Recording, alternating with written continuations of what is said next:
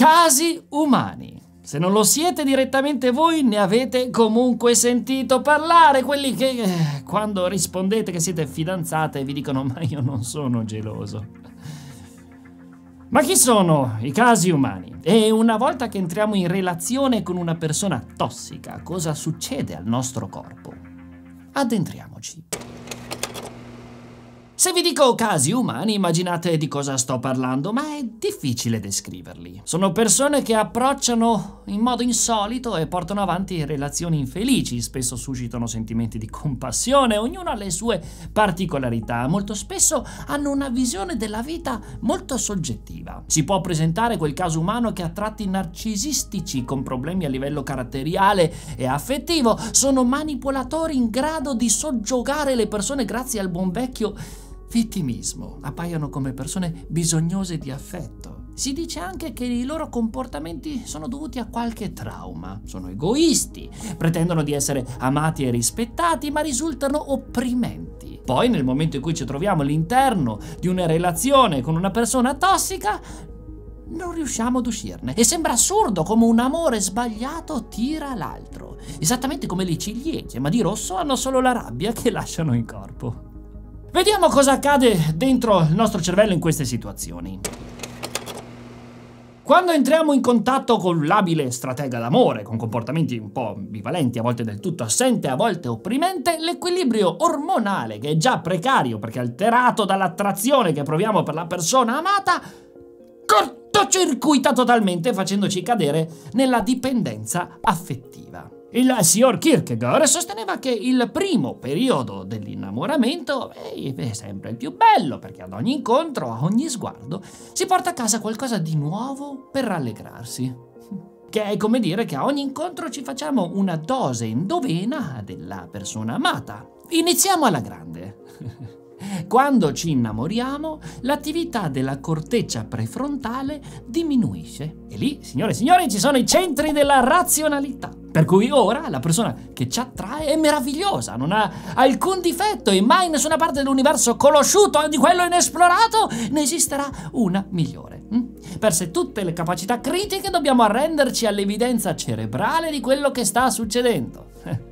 L'amore ci sta rincretininendo non siamo più in grado di ragionare e allora diciamo spesso non mi riconosco più. La serotonina si abbassa, costringendoci a focalizzare il pensiero solo sulla persona amata e a cominciare una ricerca compulsiva.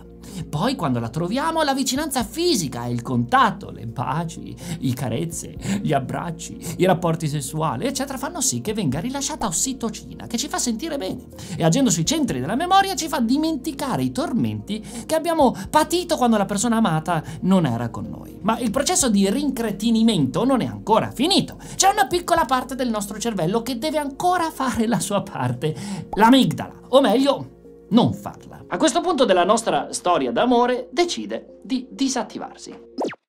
Era lei quella deputata a inviarci l'allarme nel caso in cui ci fossero segnali di fumo, per avvertirci che non è esattamente la persona giusta e quindi non ci resta che cadere in amore. Falling in love, come dicono gli inglesi, previdenti che già mentre lo dichiarano ti avvertono che ti farai male. Il poeta Busquet, eh, dice in una delle sue composizioni che amare significa essere assenti da se stessi e non aveva certo tutti i torti.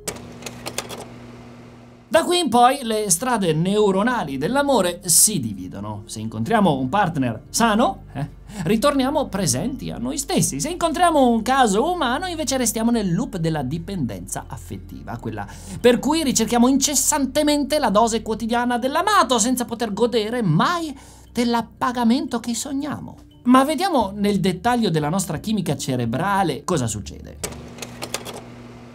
Il cervello si abitua alla costante presenza della persona amata nella nostra vita. I livelli di dopamina scendono, serotonina e ossitocina salgono. E mentre la serotonina stabilizza il tono dell'umore, l'ossitocina contribuisce a formare un vero e proprio legame di attaccamento. Ma perché questo accada, il partner deve essere una presenza costante nella nostra vita e porsi come base sicura. Contemporaneamente vengono messe in circolo endorfine, una classe di molecole simile per struttura alla morfina, che hanno un effetto calmante e piacevolmente appagante. I sussulti del cuore dei primi tempi eh, sono lontani. Adesso ci si può finalmente rilassare e godere della fiducia e della stabilità che la persona amata ci offre. Il cervello non si abitua mai alla concentrazione esagerata di ormoni del piacere. L'amato non lo permette. Oggi c'è, domani chissà. Il senso di precarietà sentimentale che trasmette ogni giorno, con tutte le sue ambiguità ed incertezze sentimentali, producono una dipendenza sempre maggiore. Inseguimenti, tentativi di sedurre con strategie, giochi psicologici e comportamenti poco irrazionali, tutto questo manda in cortocircuito il sistema della dopamina e dell'ossitocina. Siamo costantemente indotti dai nostri ormoni ad assicurarci la dose quotidiana di quella persona tossica. La dopamina ci rende euforici all'idea di vedere la persona in questione. I bassi livelli di serotonina ci inducono in uno stato d'ansia e ci spingono a cercarla compulsivamente. La presenza intermittente del partner non permette all'ossitocina di stabilizzare la relazione. Siamo praticamente in astinenza fino alla prossima dose. E poi e si ricomincia. L'appagamento è impossibile. La serenità pure.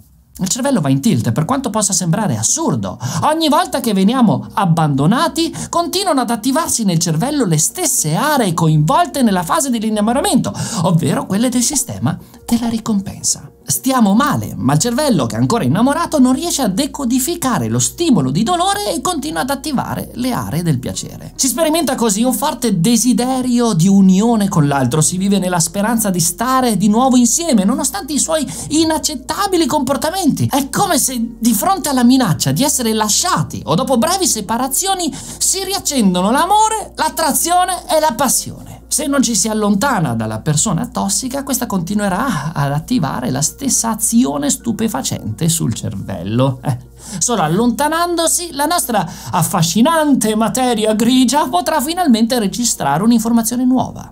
La relazione è finita. Finita. Da questo momento noi e il nostro cervello potremmo iniziare la nostra elaborazione del lutto. Durerà da un minimo di otto mesi a circa un anno e mezzo. Ammesso che tutto fili liscio, il circuito della ricompensa si spegnerà. Caleranno a picco i livelli di dopamina e di ossitocina, l'insula e la corteccia cingolata mostreranno un'attivazione di gran lunga inferiore a quella che si registra negli amanti felici. I livelli di serotonina precipiteranno, siamo depressi, ci sentiamo soli e abbiamo la sensazione di essere in pericolo. La sua mancanza ci farà tanto male da indurci a credere che non sopravvivremo a questo dolore e l'amigdala ha ripreso a funzionare e ci avverte del pericolo, della solitudine. Si attiveranno nel cervello le aree cerebrali deputate alla registrazione del dolore fisico, per questo ci sembrerà di avere il cuore spezzato.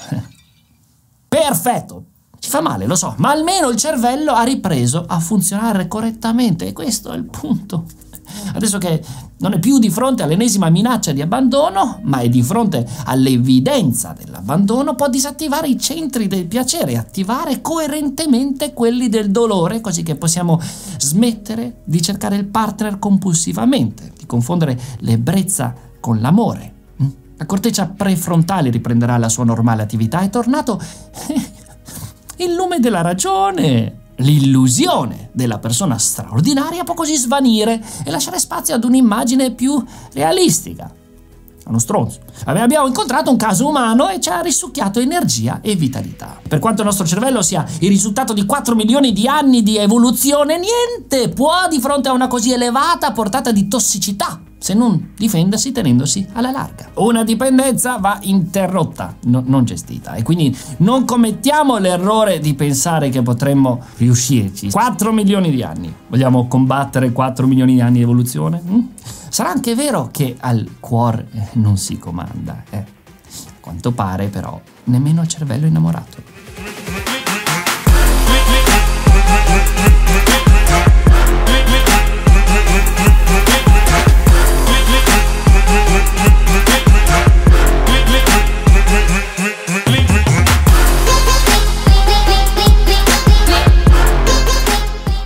Quarta... Mm. Ah! Innamoramento...